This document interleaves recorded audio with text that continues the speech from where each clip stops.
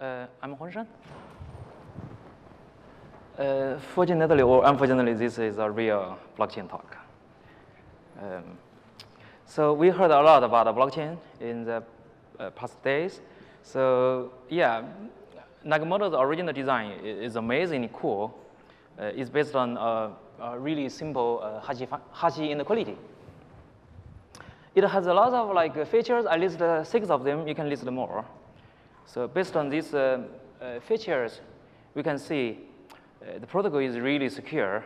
For example, the protocol has lower communication complexity. And uh, that means uh, it can be executed on, over a large scale network.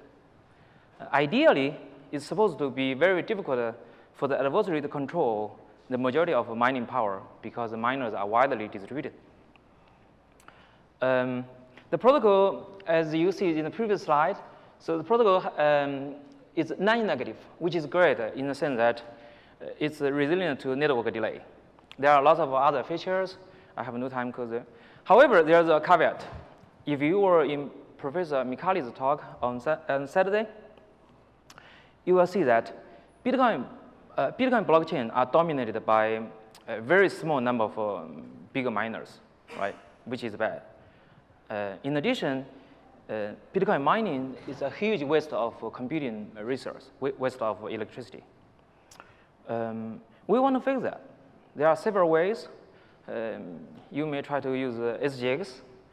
Even as SGX, the trust hardware is trusted, there is still a single point of failure concern. You can use uh, multi-party computation, but there's a caveat.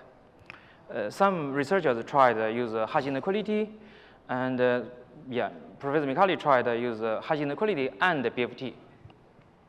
So here, we do not want to use BFT because uh, BFT requires a stronger network assumption. Okay. So how to do? So our first step is to have uh, um, uh, alternative, a new alternative uh, um, hash inequality. Instead of having the random nonce as a solution, we ask miners to generate the unique signatures as, a, as a solutions. So this looks very similar to uh, Professor Micali's uh, construction. There's a big difference. So in Algorand design, the hash inequality is pretty uh, simple, easy.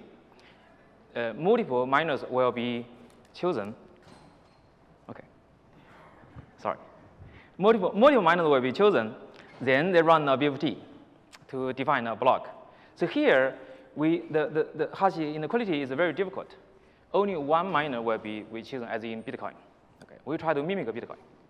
So this um, uh, design is uh, already pretty good in the sense that uh, if malicious miners, they follow the longest chain, uh, only extend the long chain, then we can see is secure, it works. However, in proof of stake setting, malicious miners, they may extend the long chain, the single long chain, the third long chain, and so on. So this is called uh, nothing at stake uh, concern. So previous understanding of uh, nothing at stake concern is quite limited. We discovered that if you play the nothing at stake strategy, you can benefit. However, you can amplify your stakes. However, your amplification rate is, is, is bounded by um, uh, constant E, which is uh, 2.7, right? And uh, based on this, we can play uh, nothing at stake attack against nothing at stake. Okay, honest players play nothing stake uh, strategy to defend against the malicious uh, uh, nothing stake strategy. So we can see, we can get uh, like a good, nice protocol. Of course, there are other concerns. Uh, we, we will have like a fine grained, greedy, uh, whatever strategy, multiple, stra okay, sorry, one more time. Okay, so, so yeah, and more, we can improve the throughput. Yeah, finally, we also have a project ongoing. Uh, it's a very early stage called a fractal uh, with uh, someone you know. Okay, that's it. Thanks.